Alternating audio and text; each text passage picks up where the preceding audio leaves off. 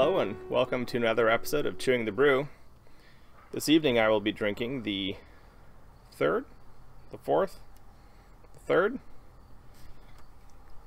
ah, the third, the third in uh, Black Black Raven Brewing's Core of Four series, the Four Elements of Beer. This is their wit beer, which is celebrating and highlighting the wheat, sorry, wheat the yeast, the yeast in the beer.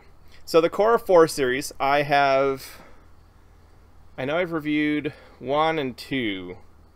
The water, no, you know what? It was four last, it was last year's four, I want to say, and this year's one. I don't remember if I've done two. I might have, but I can't recall. Anyways, apparently it's an annual cycle of Black Raven brews. Uh, Black Raven out of uh, the Seattle area of Washington, um, Woodinville, Washington. And they are brews, they are beers that are specifically designed to highlight and focus on specific aspects of the core four ingredients of beer. That is malt, hops, yeast, and water. Uh, and they as such that you might say they focus on on simpler interpretations of each. So rather than some great you know adjunct heavy explosion of craziness they want a beer that allows you to enjoy the specific aspect of that beer that this particular one is highlighting.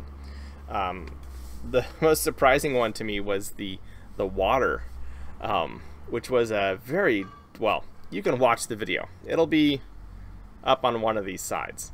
Um, I'll try and remember to link it there. Really good, delicious beers, amazing, tasty. Highly recommended that if you can find them, you try them and you enjoy them. I was looking for a, a beer um, that I could enjoy, kind of a, a savoring beer in my fridge, and frankly, I'm kind of towards the end of the summer. The weather's been deliciously cool this week, and um, I still have mostly like lighter. I have pilsners, I have some IPAs and such, and I haven't, and a few of the the Oktoberfest that I've already reviewed.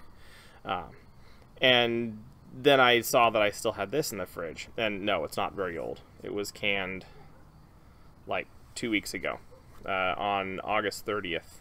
I want to say. I assume that's an eight. Um, so no, it's not not very old.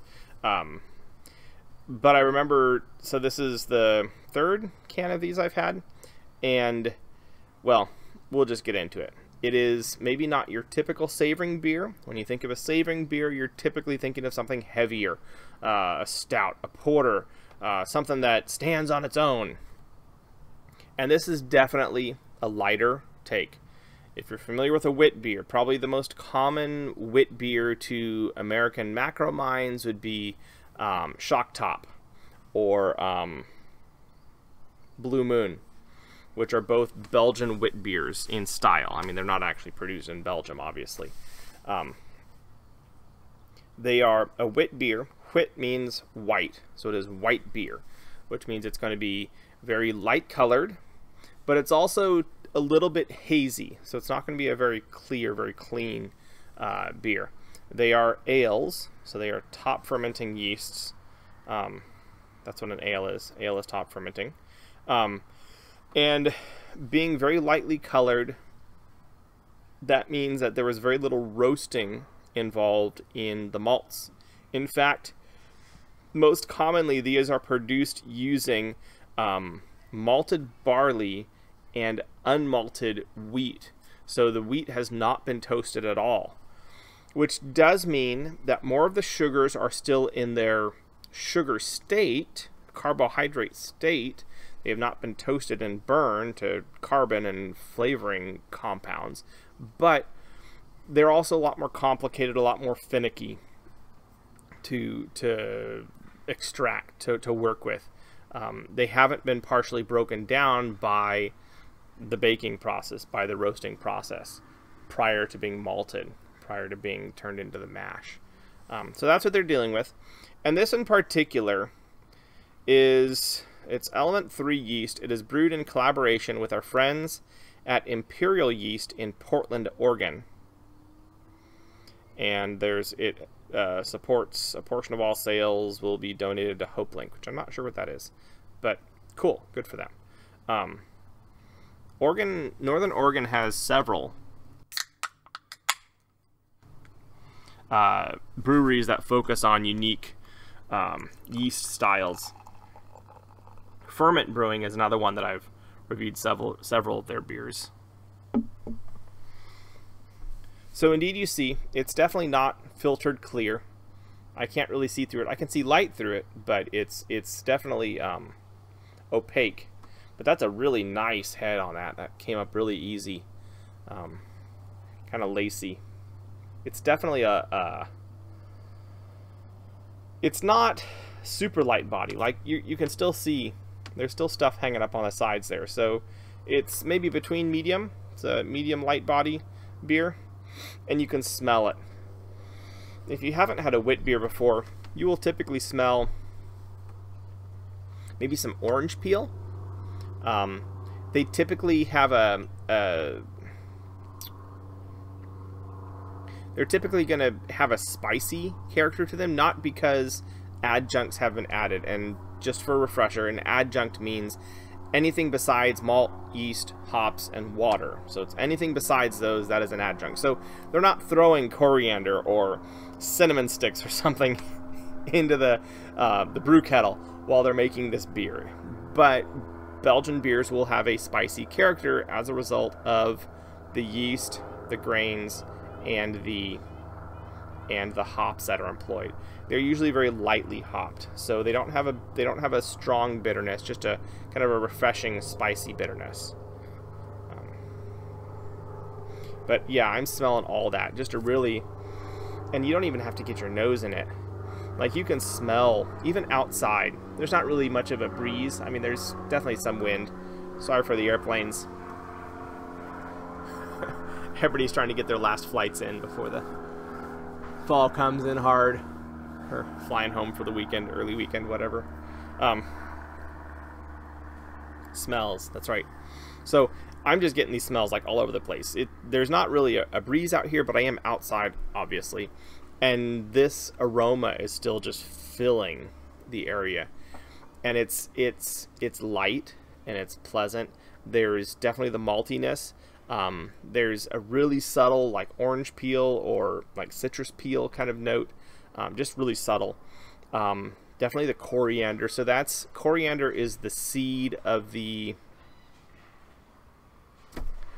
Oh, that's gonna bother me now. Cilantro, cilantro, cilantro is coriander. Coriander is cilantro. Um, so kind of that that sweet herbaceousness. That's quite quite just inviting. And once you stick your nose into it,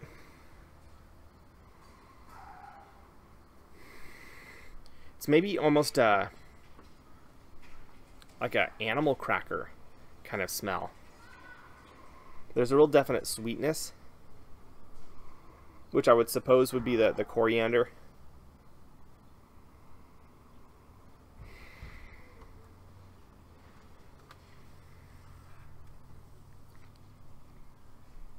Yeah. Like I was saying early earlier, I was looking for a, a savoring beer to enjoy.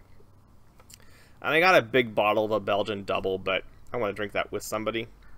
Um, and I was thinking that the just the layers and the nuance of this beer make it worth savoring. It is not a stand up and shout beer. It's it's like a a really delightful light wine almost. Um, it's not you know it's not fruit acidic sweetness. It's it's mild. It's kind of a round flavor. Um, got that kind of a not really a graham cracker, but a, a, sweet cracker. So like an animal cracker, kind of round sweetness and maltiness to it. Um, and there's this kind of interesting earthiness that grounds the beer and gives you really something to to to ponder on your tongue as you're drinking it.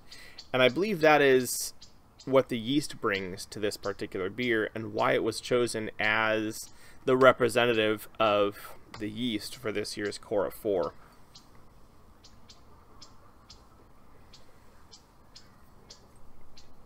Mm. Vanilla.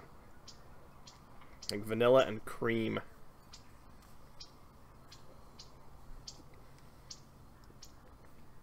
Yeah. Um, so so animal crackers, vanilla, which might be playing into that. Maybe a touch of um, uh, like clementine, like a, a sweet, uh, a sweet citrus, but without the acidity, without the ascorbic acid, um, without the vitamin C.